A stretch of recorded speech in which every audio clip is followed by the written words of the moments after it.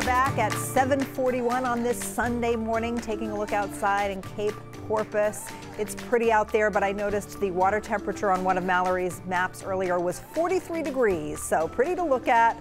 Wouldn't want to touch it with a 10-foot pole. And Mallory, speaking of you, you're the only person I know who might actually be jealous of that couple in the last segment who got married outside in a blizzard. I was saying to, to the producers that all I wanted was a winter wedding and my family flat out refused because yes. they're all from New Jersey. And so we had a fairly large wedding, and they said, We are not going to trust that the weather is going to cooperate. But all I wanted was to get married at the Mount Washington Resort in a snowstorm. Didn't happen. you know, you gotta you gotta work with everyone. It was a beautiful wedding uh, in the Oxford Hills here in the middle of fall foliage nothing wrong with it. But my first dream really was a winter wedding in the middle of a blizzard. I don't think anyone is surprised at that. And yesterday, yeah, that's it. That was a good one. They are going to remember that forever. And I'm a little jealous. 18 inches in Brunswick and Lisbon. We had 16 inches in Lewiston and Westbrook Sanford at 12.1. So, you know, it was a while since we had a good old fashioned blizzard and blockbuster nor'easters about four years. If you remember back in March 2018, we had four of them in a row. I want to talk about being tired after that. That was a that was a feat. I remember that temperatures were cold. We had a lot of snow and wind was a big factor. So that is going to be something else that we remember from the storm. We had hurricane force wind gusts with this storm in Rye, New Hampshire, as well as Robinson. Now, a beautiful sunny start to the day today. Temperatures are going to be into these single digits to start.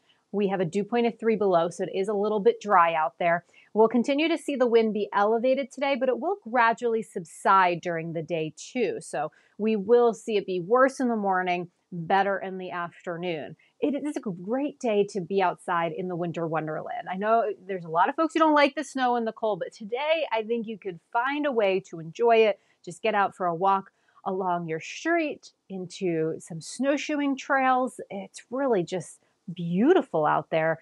Got to bundle up from the wind, and we have some sunshine. A few isolated snow showers left into the mountains. That's pretty typical with a northwest wind, but we'll be clearing out in most areas. Currently zero in Greenville, eight in Portland, Wiscasset. Yes, 43 for our water temperature.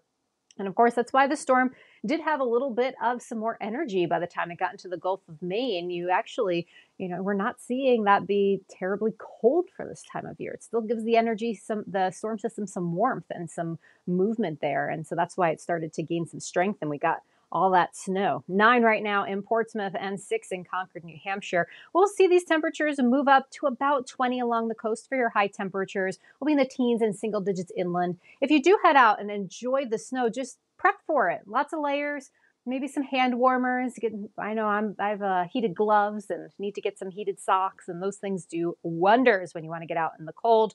We are going to keep this snow around for a while. Temperatures really don't move very much. Tonight is going to be cold. This model is way underestimating. I think the temperatures with fresh snowpack and clear sky will be below zero in most areas. We'll see those temperatures move up into the upper 20s tomorrow, and it's a quiet day. We'll relish in the quiet days because they aren't going to continue into the end of the week. A little foreshadowing there. So, yeah, temperatures not quite to freezing tomorrow, but we'll definitely get some help from Mother Nature.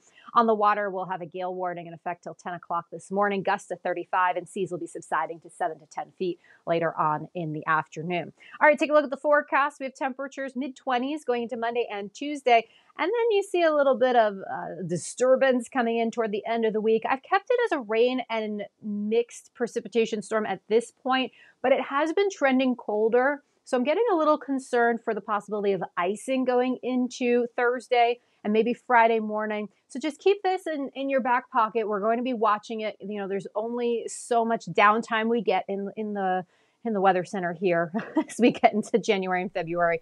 Uh, but I anticipate us having some impacts. And I think it's going to be about Wednesday night to Friday morning. It could be a change of precipitation. It might go rain, ice, snow. It could be ice to snow, but it's going to be much more messy and convoluted than this past storm. I don't think that says much because we were racking our brains on that. But we are going to be seeing some impact from a more messy storm system heading into the end of this week.